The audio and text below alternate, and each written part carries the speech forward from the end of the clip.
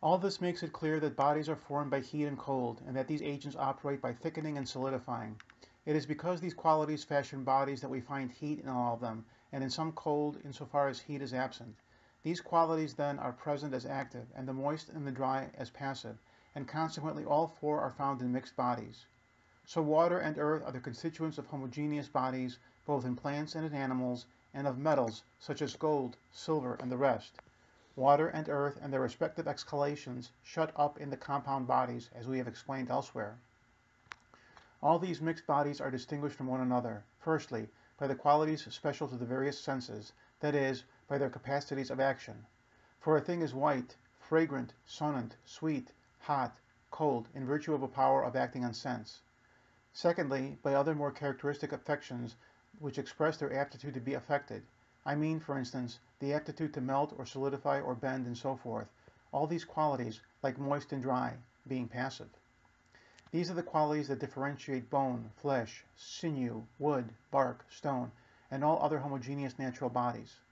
Let us begin by enumerating these qualities, expressing the aptitude or inaptitude of a thing to be affected in a certain way. They are as follows to be apt or inapt to solidify, melt, be softened by heat, be softened by water, bend, break, be comminuted, impressed, molded, squeezed. To be tractile or non-tractile, malleable or non-malleable, to be fissile or non-fissile, apt or inapt to be cut. To be viscous or friable, compressible or incompressible, combustible or incombustible. To be apt or inapt to give off fumes. These affections differentiate most bodies from one another. Let us go on to explain the nature of each of them. We have already given a general account of that which is apt or inapt to solidify or melt, but let us return to them again now.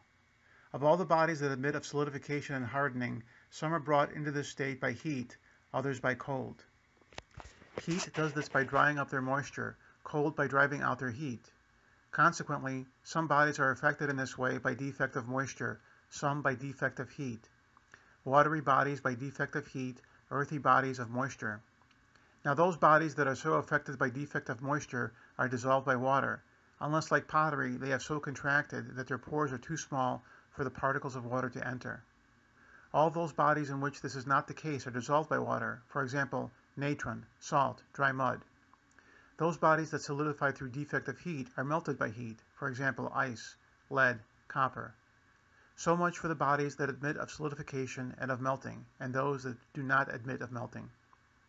The bodies which do not admit of solidification are those which contain no aqueous moisture and are not watery, but in which heat and earth preponderate, like honey and must, for these are in a sort of state of effervescence, and those which do possess some water, but have a preponderance of air, like oil and quicksilver, and all viscous substances such as pitch and birdlime.